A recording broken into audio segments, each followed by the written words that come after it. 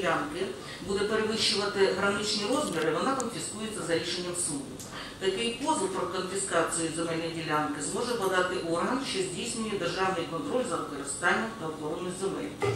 Конфіскована земельна ділянка за рішенням суду підлягає продажу на земельних торгах. За законом заборонено землю продавати, продавати землю, яка перебуває у державній власності. Не зможуть купувати землю іноземні компанії та громадяни, доки це питання не вирішиться на референдумі.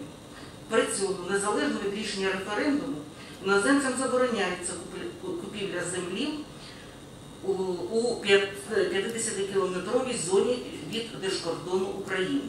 Не зможуть купувати українську землю і компанії, власниками яких є громадяни е, країни-агресора.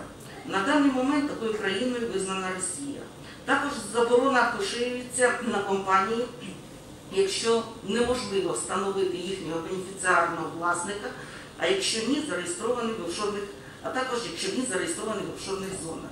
Не зможуть купувати землю і банки, однак їм дозволено бути власниками земельних ділянок у межах стягнення застави.